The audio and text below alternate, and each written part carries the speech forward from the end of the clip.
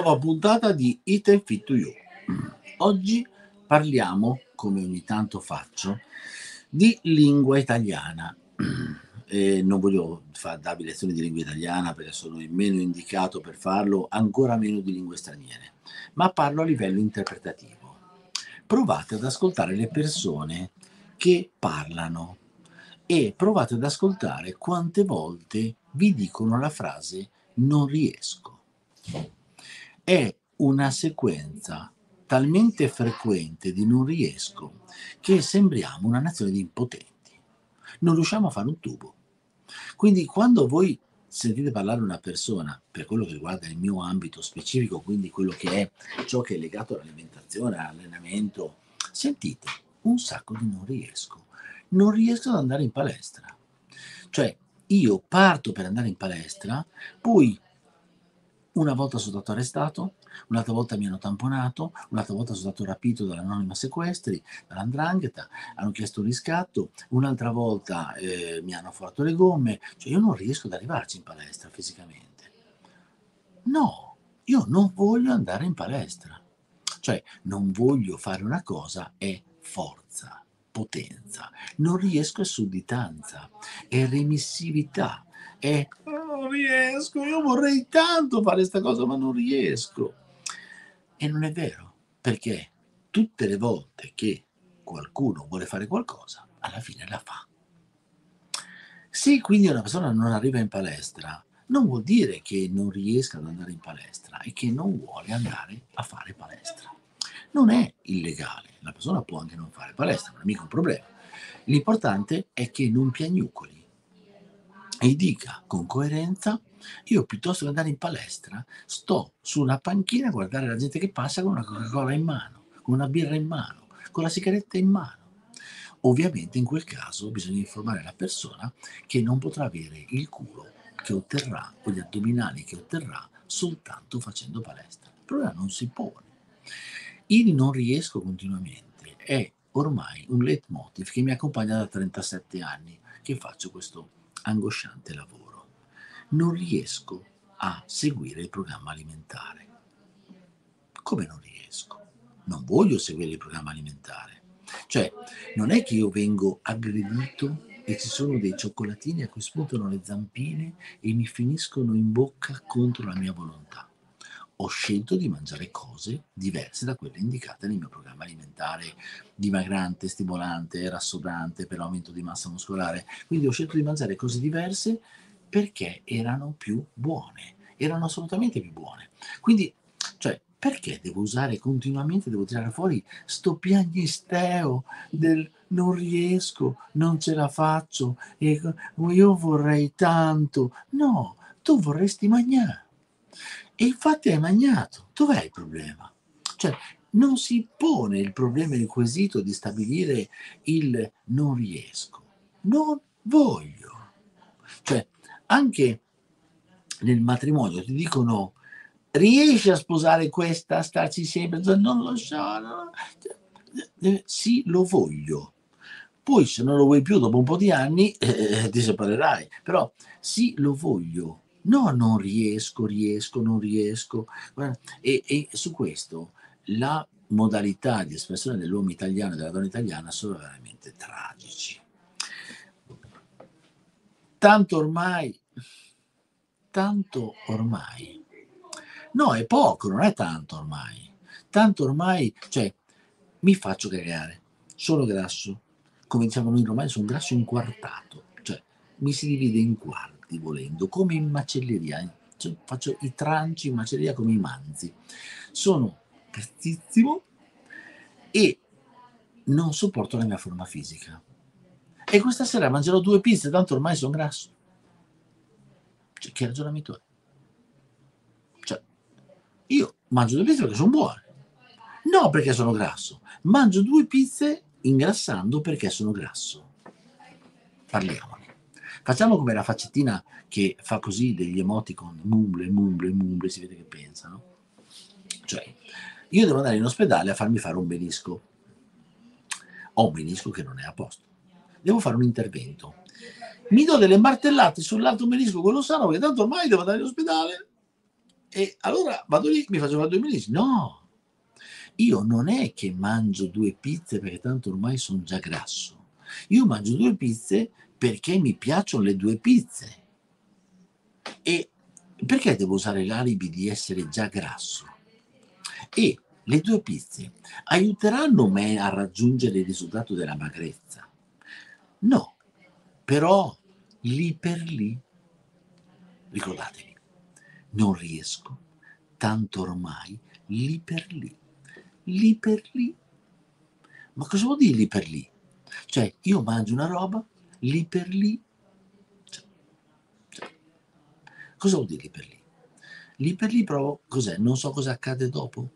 Io mangio una cosa, mi dà gratificazione, lì per lì, ma dopo mi viene con registi, mi vengono i calcoli, o ingrasso, o mi viene la tensione idrica, divento diabetico, mi si alza la pressione, sindrome metabolica.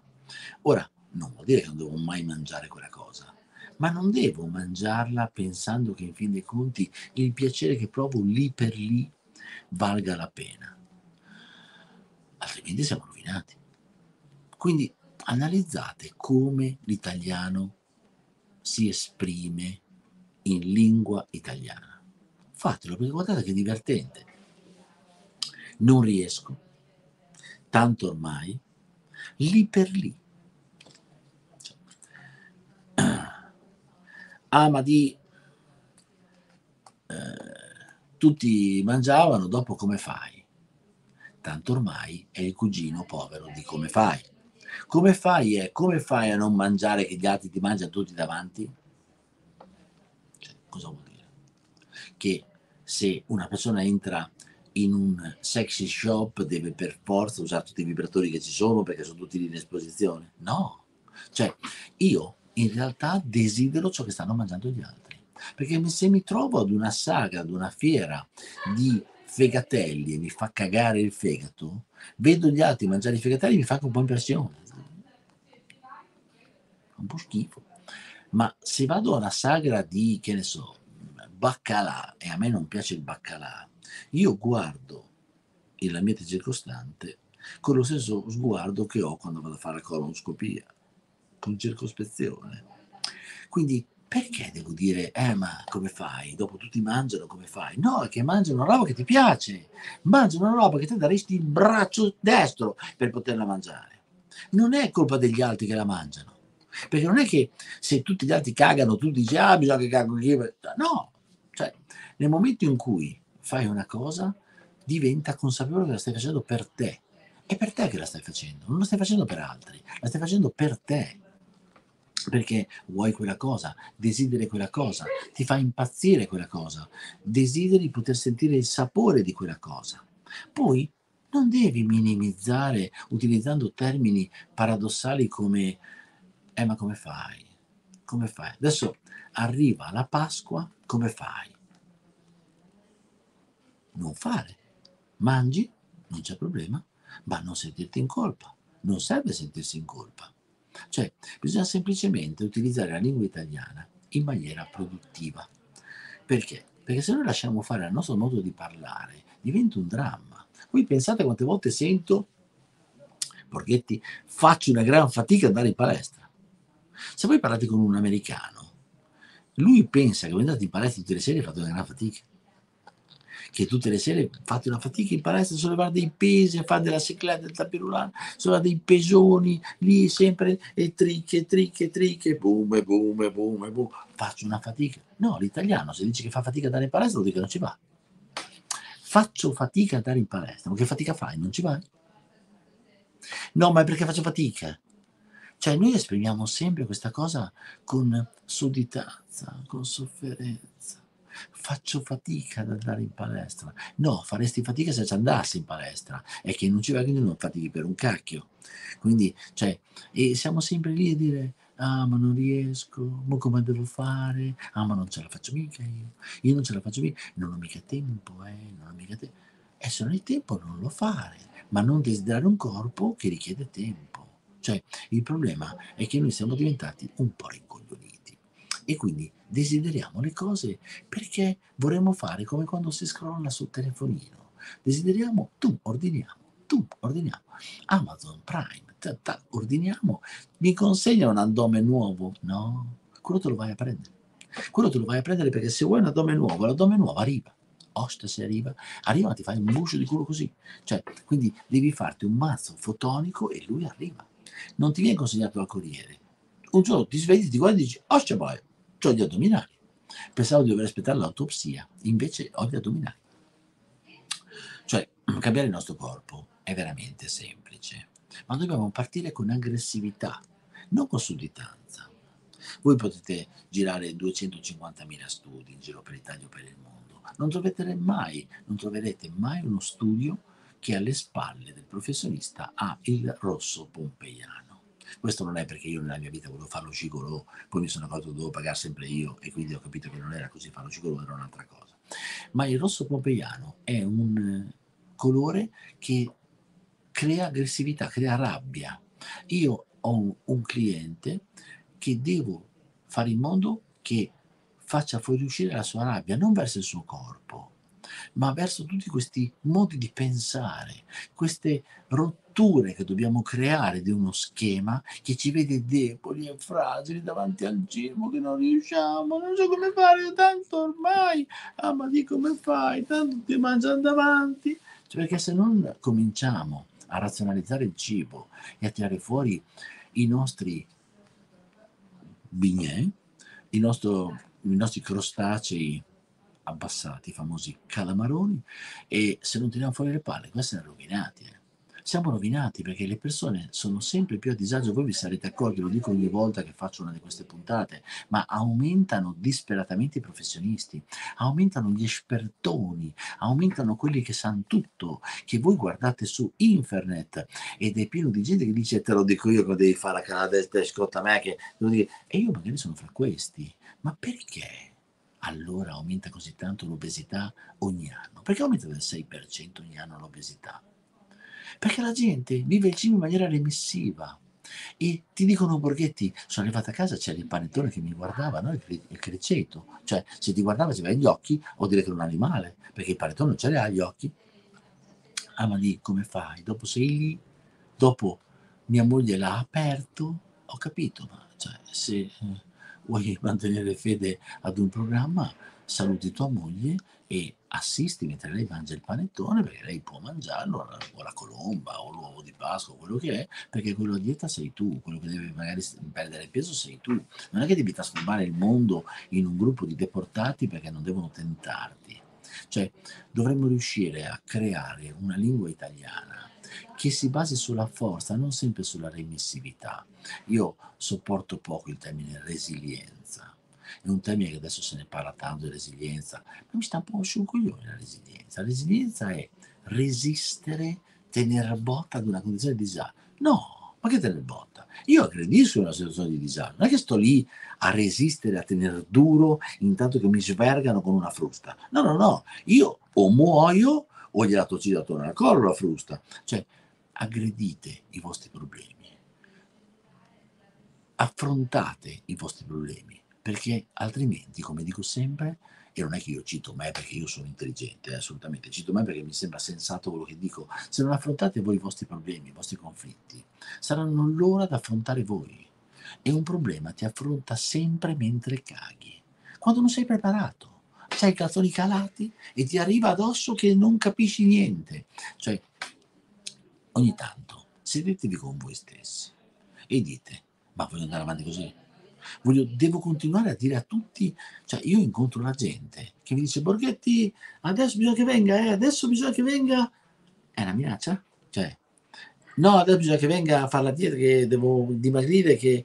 No, ma cioè, non è che me lo devi dire con me, lo fai se vuoi farlo te, cioè non è un problema. Incontrate la gente che dice, eh, io smetti così, li incontrate che sono così, con la sigaretta. Bisognerebbe che smettessi di fumare, perché cioè, adesso è morto anche il tale, che è morto il tale, che bisognerebbe che smettessi di, smettessi di fumare e, e non smetti. Sono 12 anni che lo incontri, 12 anni che ti dici che dovrebbe... Eh, ma perché mi dici con me che dovresti smettere di fumare?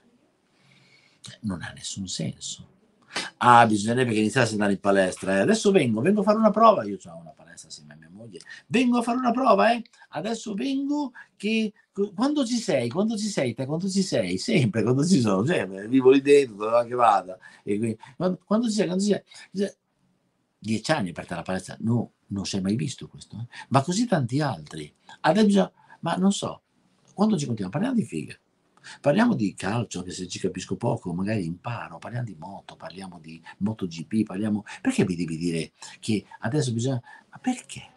Why? Perché? Perché? Cioè, è una perdita di tempo. E quindi cercate di analizzare il vostro modo di fare, il vostro modo di parlare. Quando ascoltate un tanto ormai, faccio fatica, non riesco, e allora poi e come fai?